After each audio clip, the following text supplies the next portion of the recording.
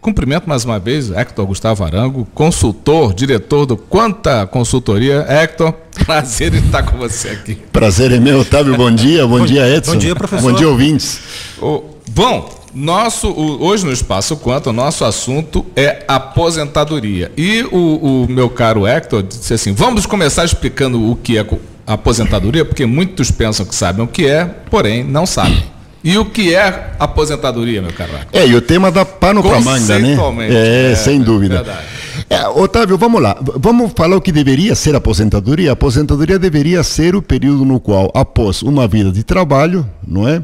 é as pessoas ou a pessoa já sem tanta vitalidade, sem condição de trabalhar, ela passaria a usufruir tá, de uma renda de uma forma diferente da renda do trabalho.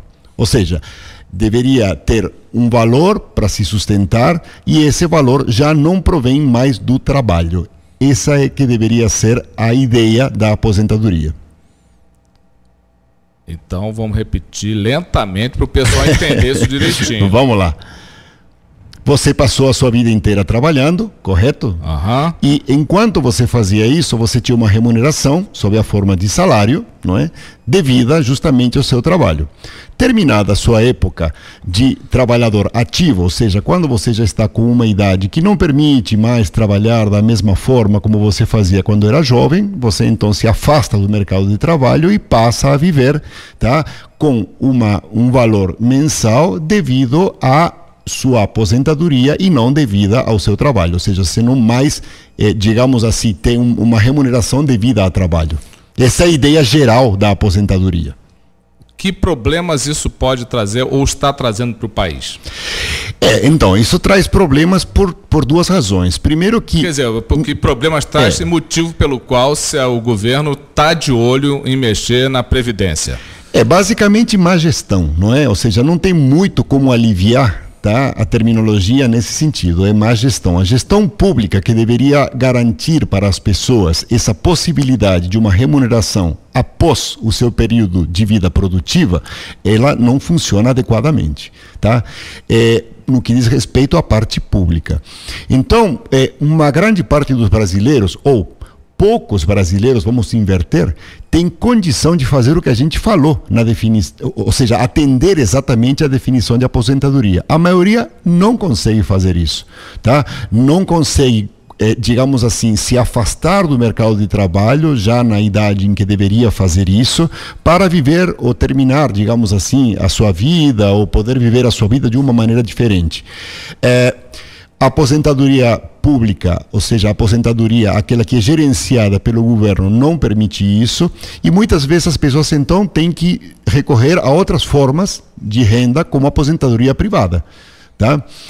Só que o grande problema é que para que isso seja feito durante a sua vida, não é? O trabalhador tem que ser previdente o suficiente como para que a hora que chegar a sua hora de se afastar, ele tenha os meios que garantam a sua subsistência confortável. Tá? Ninguém imagina que, que alguém vai se, se aposentar rico, embora a gente tenha alguns casos aqui meio absurdos é, no Brasil. Sim, sim.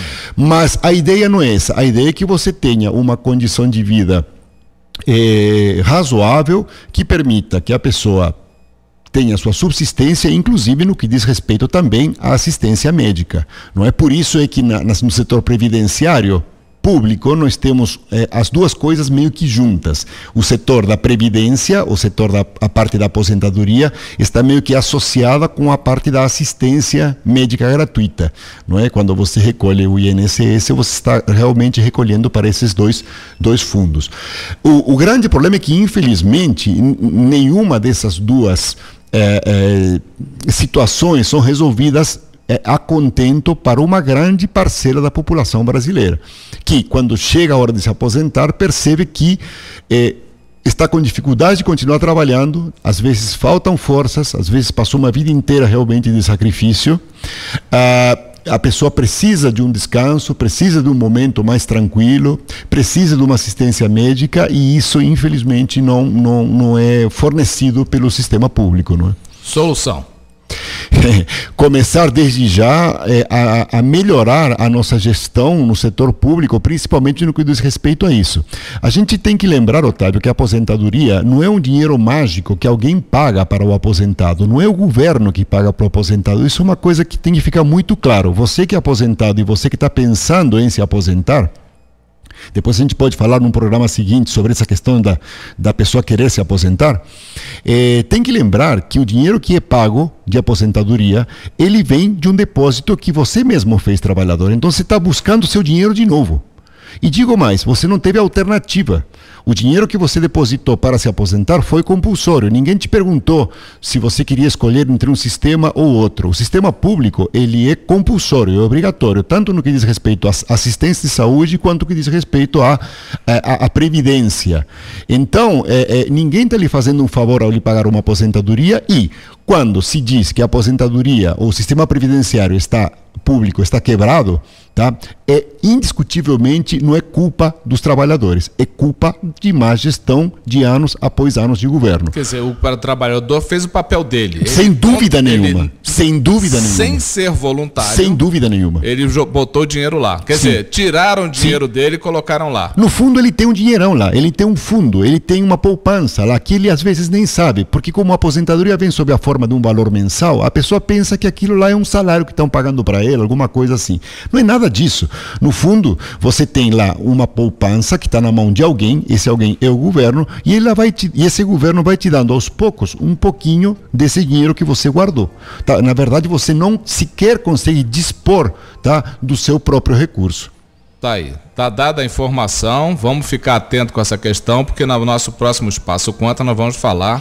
Eu acho que vale a pena falar mais sobre isso, não é, Otávio? Exatamente. É um tema importante. Como lidar com essa situação?